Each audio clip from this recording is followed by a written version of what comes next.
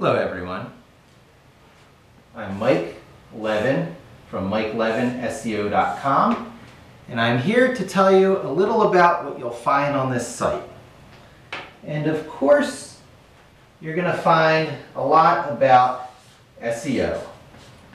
It is my field and it is the practice of reaching your audience without paying for advertising.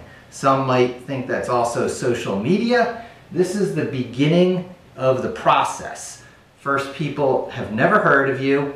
Some intrepid searchers search and find you, and then they share. And once it's shared, it starts to take on its life in social media. SEO provides that initial spark, that initial flame to become the torch to be passed from hand to hand. So that's how I view SEO. It's a fundamental, uh, almost as old as humanity itself as is its corollary word of mouth. Um, other things you're going to find here. Of late, something that has been very, very popular is the Raspberry Pi.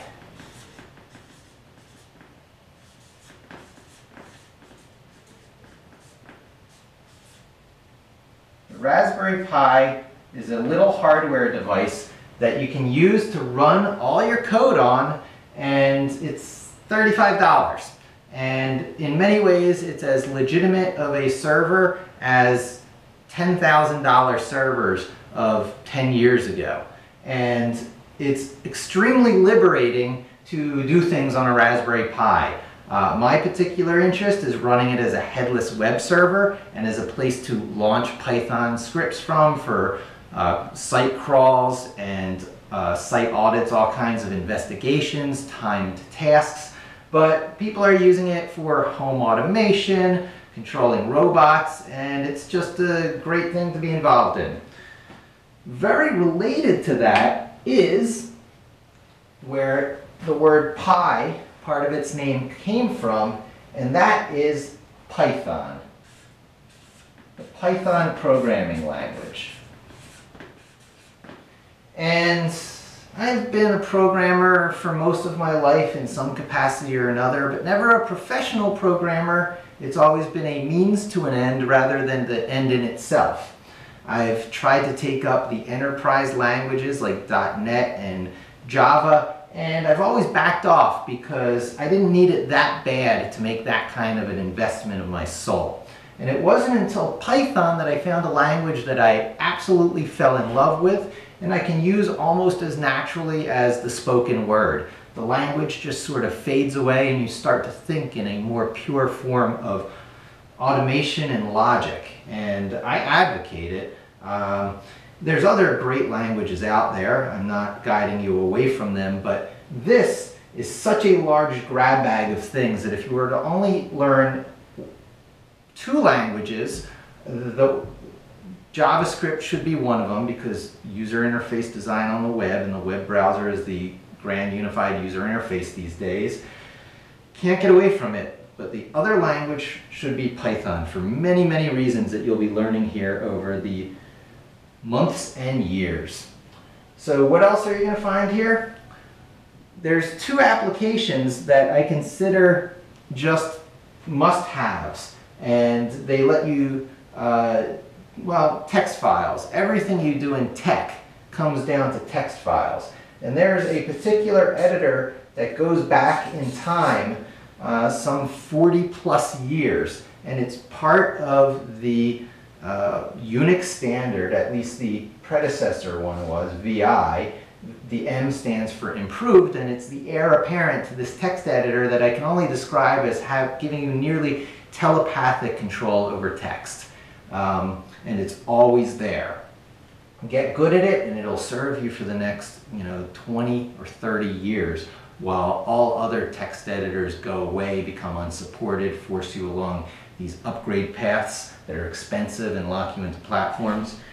And another application, which is very much in the same category, not nearly as old as the Vim text editor, but which has rapidly become a must-have go-to application for many, many reasons is Git.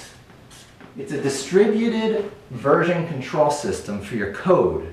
And in addition to keeping your code safe, It actually embeds an edit by edit forever history of your entire project from your first line of code on every instance that you create. And the fact you can create new instances easily means it's also a method of deploying software. There's better deployment systems when you're dealing with thousands of computers you need to move code onto, but Git is sort of the fundamental uh, way tool, the tool that should be in your toolbox to let you do easy deployments and to keep your code safe. Um, and it's uh, probably never going away. It's the thing that is now maintaining the Linux kernel. Which leads us to our last topic, Linux. It's sort of the underlying theme of almost everything here, uh, with the possible exception of SEO. But I could make that argument too. It's the operating system that Python runs on, Git, Vim run on, and all these things run on other operating systems. But this is free and open source, runs on the Raspberry Pi. Your applications will be so liberally licensed that you could instantiate thousands of instances of your applications and not pay anyone a dime for software licensing. So let's talk about SEO for a second. Why is my site inevitably, inevitably going to become so popular? It's because of this Venn diagram. Linux has its circle. Vim has its circle as does Git. And you see what's happening here. The Raspberry Pi. And of course, SEO as the site is named for. And this intersection right here, not that there's that many people there, it's probably about two people but I guarantee you, I'm going to know every one of them over the coming months and years. Because as people search and combine the keywords that are associated with these different circles, there's fewer and fewer pages and sites that match that criteria, and I'll be in that very short list. But the same is true for any two or three circles. So I'm actually going to be able to fairly easily target topics that have a two or three circle overlap. That's called the long tail. It's still easy to bring in traffic when you're targeting a niche that's established by overlapping interests. It's much harder to target just Git. I don't know if I could bring in traffic on Git, and certainly not SEO with everyone trying to do that.